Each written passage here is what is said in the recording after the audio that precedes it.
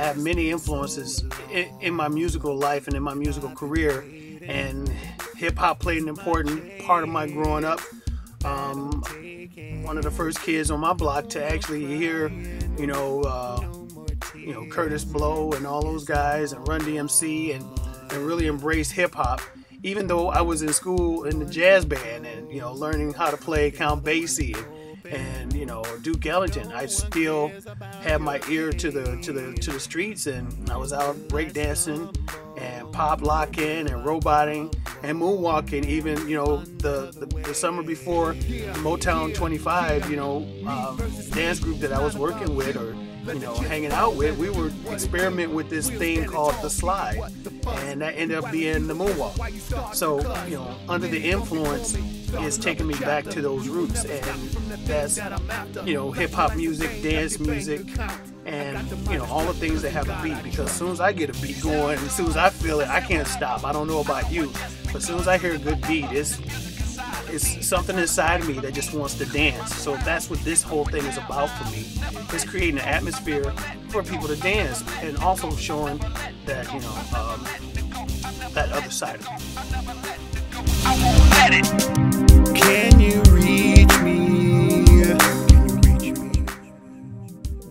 lot of people that influence me today. I mean, you know, you can't not turn on the radio without hearing the top 10 hits every hour. So, you know, it's, it's very easy uh, to be, you know, influenced by the Black Eyed Peas and Katy Perry and Kanye West and Taylor Swift and even Justin Bieber and all the, you know, people out Usher. Um, it's very easy to be influenced by them. And, but for me, it is is the anatomy of a hit song that impresses me the most. And as a songwriter and a, producer, budding producer, those are the things that I'm really, you know, interested in and studying. It's, the bottom line for me is if it makes me want to dance, pure and simple. You don't have to be a fan. If it makes you want to dance, and that it rings true to your spirit. So that's what really influences me out of the music today. And as far as artists are concerned that I really vibe with, of course, you, you get your kids from Detroit like Eminem and Kid Rock and, and people like that. And I'm really, really impressed with Jay Z and Kanye West. And Lil Wayne even inspires me a little bit even though I'm not into the cussing and all that kind of stuff, that's to each his own. Uh, I try to make my music for everybody, so I'm influenced by a lot of different types of music and a lot of different artists of today. I'm never letting go. I'm never letting go. I'm never letting go. I'm never letting go. That band is so versatile. We're, we're able to do a lot of different types of stuff.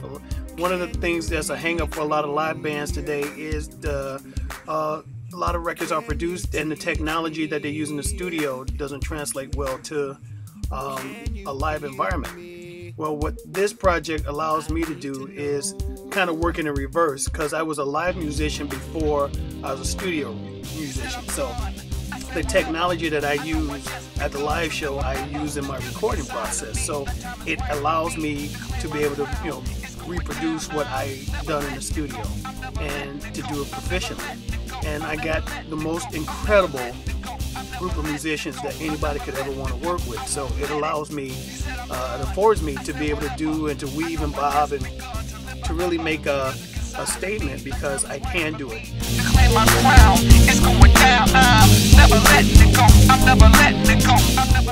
This has been Big Will Under the Influence, the interview. Peace.